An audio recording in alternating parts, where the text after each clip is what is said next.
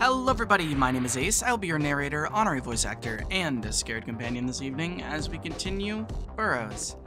Last time around we uh, started Gabriel's route and we had a flashback of Sam and Grey when they were young.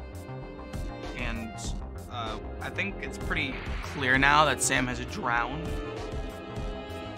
or, you know, perished in some way and that's why they don't like bringing him up.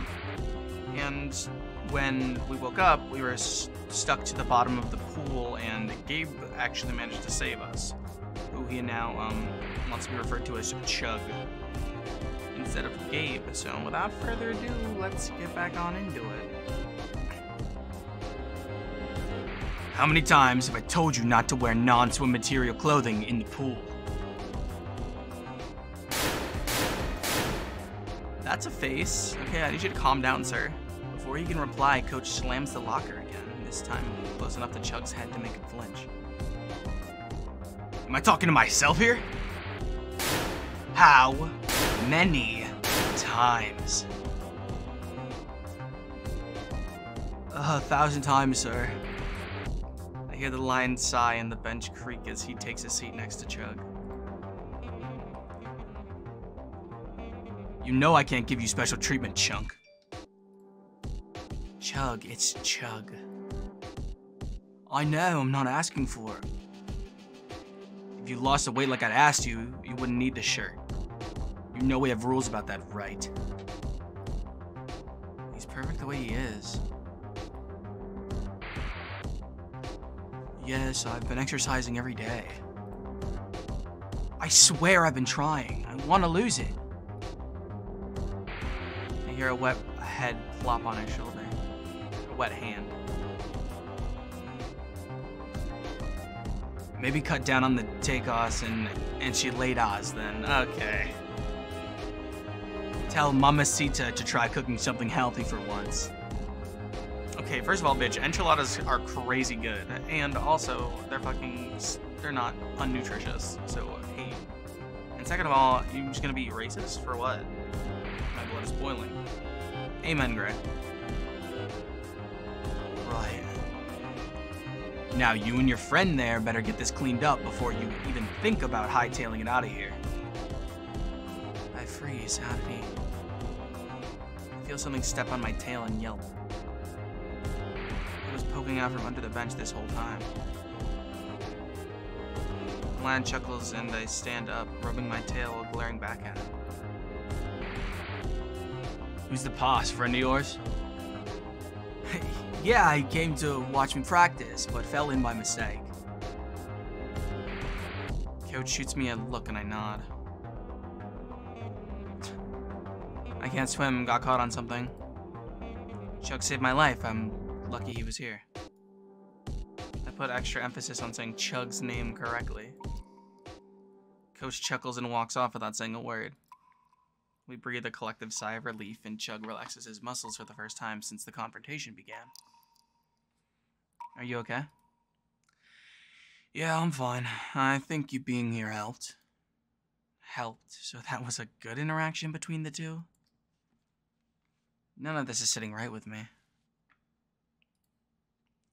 Look, let's just... Suddenly I hear the rolling of wheels bumping over uneven tile. Coach rounds the corner again, this time pulling a janitor's cart behind him. You two weren't thinking of skipping out without cleaning this up, were you?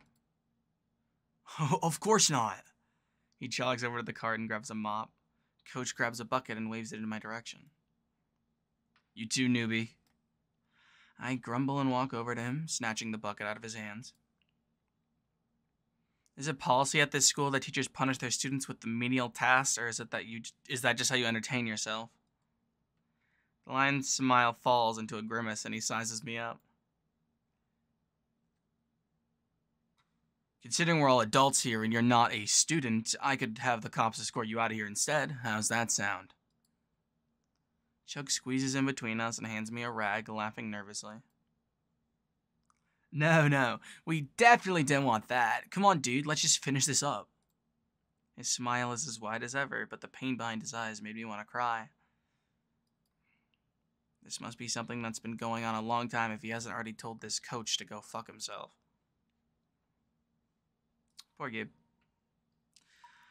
The disgruntled feline scoffs at us and walks off, leaving us alone finally. We don't speak for a few minutes, Chug earnestly mopping up puddles of water while I wring out towels into the bucket. Eventually, it's too much to bear, and I break the silence. Chug, why do you... I don't want to talk about it. Another long stretch of silent cleaning. I can't stop thinking about giving the coach a taste of his own medicine. The wash-up has-been. Why would he even put get Chug on the team if he didn't meet the requirements? Not to mention that I've seen him swim, and he was amazing at it.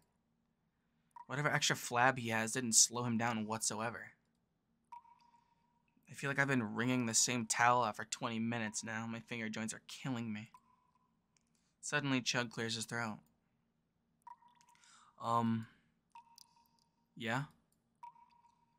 He isn't always like this.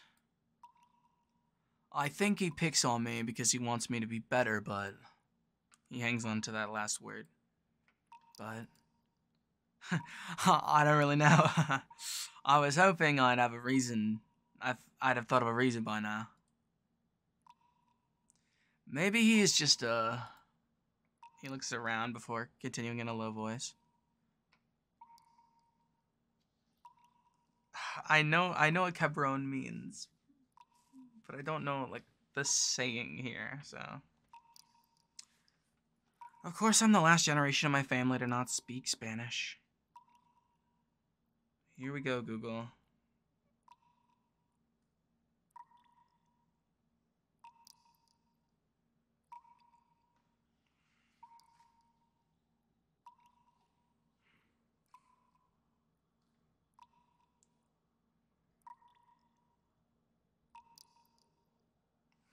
Ah, uh, yeah. Okay, no, it was that was about about what I was expecting. F fucking bastard. Huh? What does that mean? He scratches his head. A fucking asshole. well, sometimes I gotta say it in Spanish, or it doesn't feel rude enough, you know? I nod, sort of understanding the logic.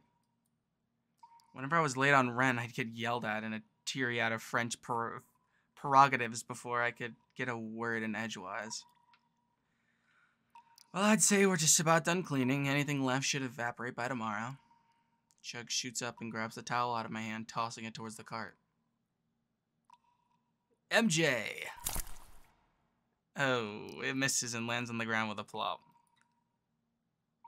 He shrugs and walks over, putting it away properly. Guess I'm not cut out for the NBA. Uh, are you ready to dry off now? Are there even any dry towels left? Surfer Bro voice is going to be very, very hard. He chuckles and waves me over. Not like that, silly. Come on, the dry room's this way.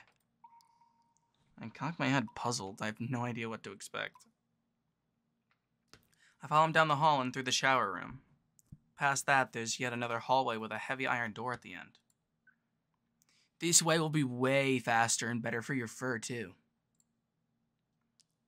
We walk inside. It looks like a sauna with benches and racks with clothes hangers on them.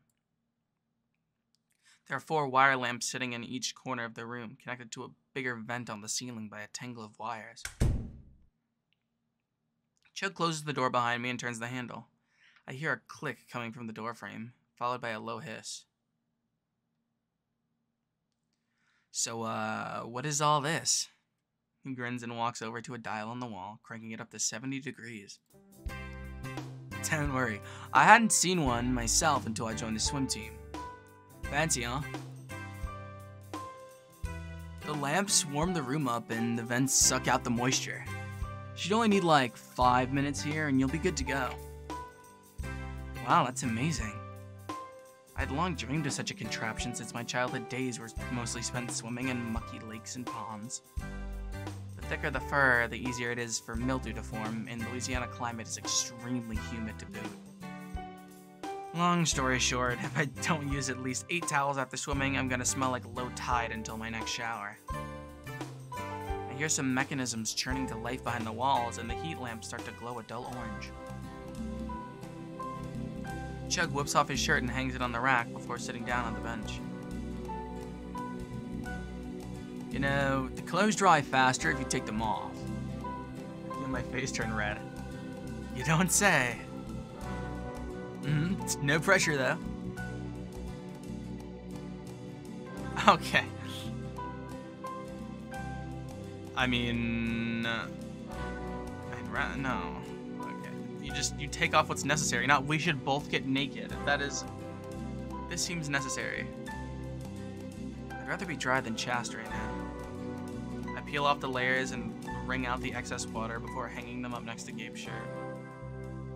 Actually feels good to be nude after having those heavy wet clothes suffocating me during that heated chat with Coach earlier.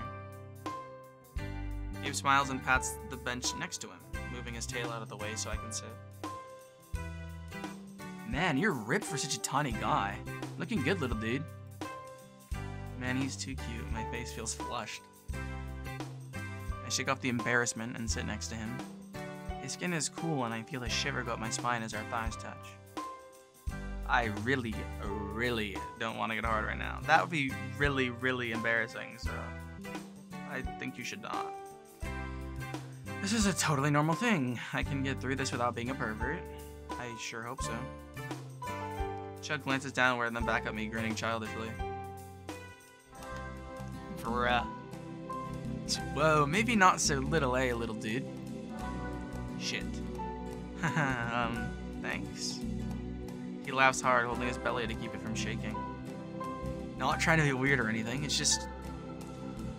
Well, let's just say I see people's dicks pretty often being on a sports team. Uh-huh. So I have a good frame of reference, and you're sitting pretty high up on the list. Why is there a list? I'm flattered, but this is a lot to take in at once. Wait, why is he looking at dicks unless... Um, so are you...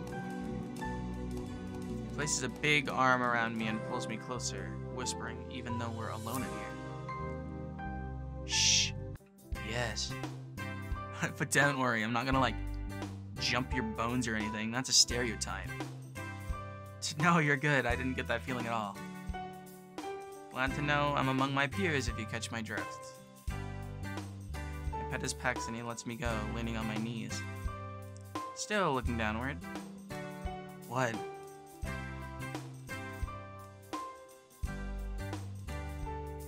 Nothing. You just confirmed that you're at the top of the list.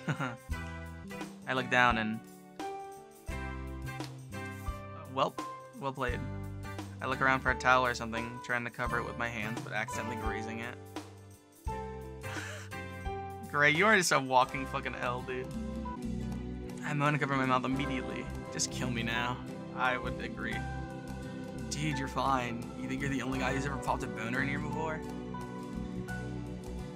Hell, I've even jerked off in here a few times when it's just me. That door locks until the session's over. Think, yeah, I agree. Thinking about him jerking off is definitely not going to get this little problem to go away. Well, I guess I'll just let it be then.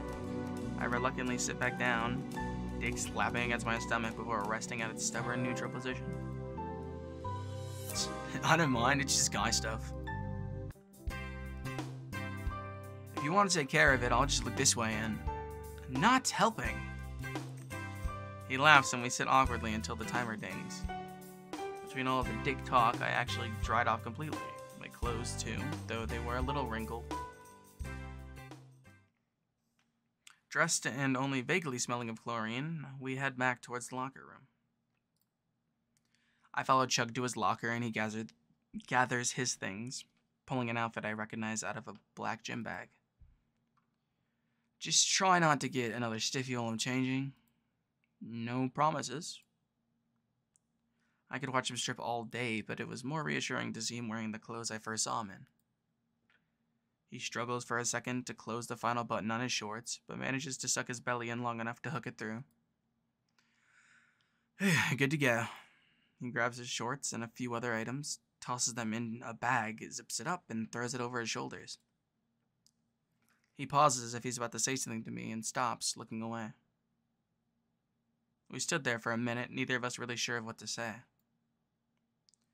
Well, I. Wait, I almost made him country. Well, I guess I have to go now. Yeah, I imagine you're busy, school and all. Not really, I'm meeting some friends at the mall. Kind of promised I'd go. Hey, Chug, it's okay. Keeping your promises is important. Promises? I guess I'll just stay here until tomorrow. Huh? No way. I'll, like, come back for you once we're done hanging out. A couple of hours tops. Caesar might want us to come over and smoke, though. Hmm. Why would they need to go somewhere specific just to smoke cigarettes? No, not cigarettes. Don't change your plans for my sake. I'll be okay. It's not the strangest place I've ever stayed in before. He seems dissatisfied leaving things like that, but we don't have a lot of options here. Even if I left the campus, it's likely I'd get lost wandering around LA, and then we wouldn't be able to find each other again. Between waiting here for Chug or trying to chase down that coach for answers, I'd rather just wait. Classes are done for the day, so you're we're probably the only ones left in the building now. You could like sleep on one of the gym mats or something. I pat his shoulders, sad that we couldn't hang out more. I have a thousand questions about everything, but I don't expect him to uproot his entire life for me. No one else, however, has, and nor should they have. He turns to head out, and I wave him off. He looks back at me a few times sadly before he's out of view. It takes a few seconds before it all hits me.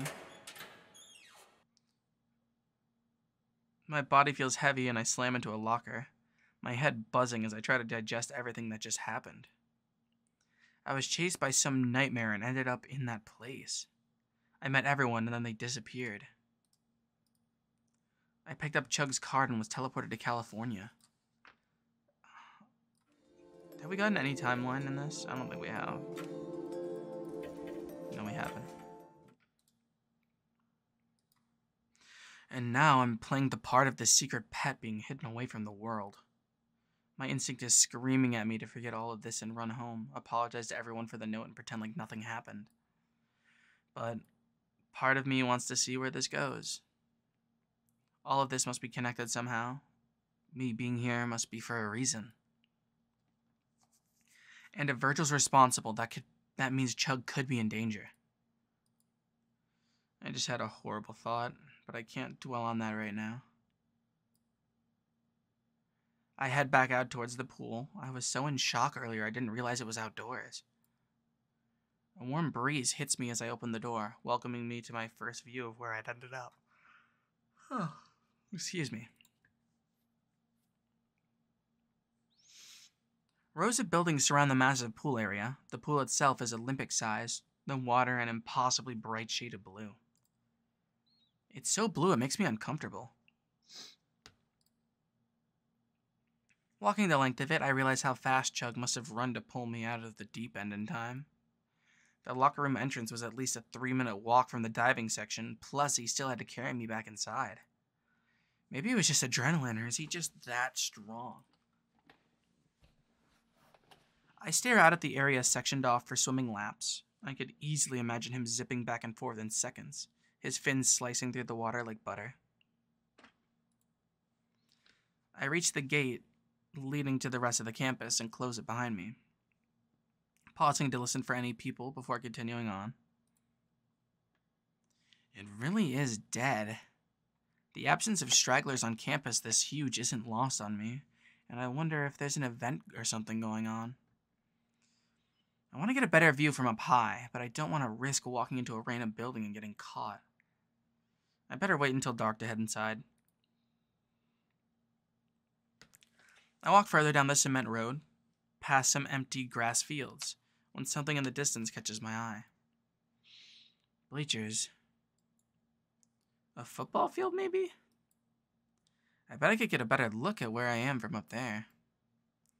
I pick up the pace and start jogging towards an opening behind one of the goalposts. My suspicions were correct, and I trot onto the grassy field covered in chalk lines. A single lonely row of bleachers makes up the southern wall. This must be a practice field or something. No way the whole school could fit in there. I shrug and start trotting up the row of seats, the blue sky overhead growing milkier as layers of atmosphere come into focus in the distance. My thighs start to burn. I'm really out of shape, or maybe I'm just exhausted. Either way, I reach the top out of breath and holding my knees. Fuck, okay. Tomorrow I'm gonna ask Chug to work out with me. I finally look up to see a blurry city in the distance. The buildings are taller than I expected. Like really tall. The city itself stretches out beyond where I can see. Tiny moving lights that must be cars cluster along raised stretches of road that intersect in dizzying ways. I try to look for ways to enter the city on foot, but only see more highways branching from it like an octopus's tentacles. I strain my eyes to get a better idea of what I'm looking at, but the bottom half of the city is distorted from the heat. I tug at my collar and now feeling my scalp burning from the intense sunlight. It really is the Sunshine State. Oh wait, no, that's Florida. Well, this should be the sunshine, uh, sunshine State. There we go. Jeez, kind of a tongue twister. Sunshine State. Feeling like I'm melting, I head back down the steps, stopping to sit on the bottom row. The wall of seats above me casts a shadow across the field, creating a pocket of cool air I could exist in comfortably. Well, I guess there's no way to get out of here without a car. Could always try hitchhiking if things with Chug don't. Hey! Huh, is that... I look around frantically, his voice is echoing throughout the campus, and I can't pinpoint where it's coming from. Little dude, behind you! I walk around the bleachers and find him leaning on the wall, drinking from a tiny can, holding a strange looking bag in his other hand. Chug, why are you back so soon? He chugs the. Oh, I get it now. He chugs the rest of his drink and crushes it against his forehead before tossing it in a nearby trash can. Oh, I didn't feel comfortable just leaving you here, dude. Uh, it was a bogus move. I walk over and pat him on the shoulder. There's no reason he should blame himself. it's fine. What else were you supposed to do? Yeah, I don't know why you expected him to just abandon you, Grey. He's way too nice for that.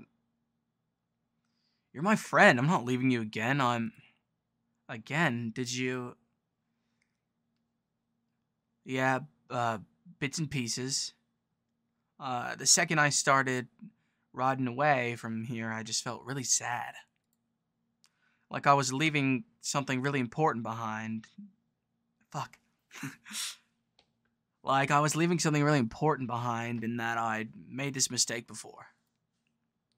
A tear trickles down his face and he wipes it away angrily. Any lingering shred of doubt I had about him just melted away. I'm really trying to remember, dude, I swear. He hits himself in the head with surprising force, making me jump back. The intrusive thoughts are winning. It's just stuck in my dumb old head. He rears back to hit himself again, and I grab his arm before he can. I know, I believe you. Just stop it. He puts his arm down and nods, still sniffling. So, you want me to come with you then? yeah, I can't let you fend for yourself out here alone. It wouldn't be right. You can come with me to the mall and meet my other friends. What are they like? a little weird, but they're good people for the most part. Most part? Uh-oh. I'm sure once they get to know you, we'll all get along. I think back to my own blended group of childhood friends and nod. I'm willing to put in the work if they're people Chug trusts. Suddenly, my stomach growls loudly. He laughs and dips into the bag he brought. I had a feeling you need something to eat, even if you decided to stay here. I stopped at the tam oh tamale con. How, how did I how did I get British out of that? I stopped at the tamale cart on the on Le Compteur, Le Comte. Interesting. I don't know that. I think I'm assuming that's actually a street, but I don't know how to pronounce that. Here. He hands me a little green bundle wrapped with corn silk. The smell hits me and my mouth begins to water. I haven't had a tamale since I was a kid. Some migrant workers came through New Orleans after a huge drought struck Texas. The women set up these little stands, and me and the gang would buy as many as we could carry. I tried to explain the flavor to our chefs, but they couldn't, they could never properly replicate it. He stares at me as I carefully unwrap it and dig into its contents, savoring every well seasoned bite. I lick my fingers clean and grab another. Tamales are fucking fire. Chug laughs and gives me a thumbs up, nodding in approval. Whoa, little dude, knows what's up. I sort of expected you to just bite through the husk. what kind of monster would do that? Let's just say there are people who don't know any better and leave it at that. I know what he meant. Can't blame him for thinking I'd fall into that category just looking at me. I shudder, thinking back to the time Jules tricked me into eating a raw corn cob. Ooh. That mistake stayed with me for a whole week. We eat a few more tamales, tossing the remains in the bag. Once we're done, he tosses the whole thing in the trash, to my bewilderment. Wait, you don't use the bag again? Huh? Dude, it's just plastic. I'm not that poor. but damn, what the fuck? huh? There's no way that bag is made of plastic. I'd seen the material around my dad's shop. It's rock solid.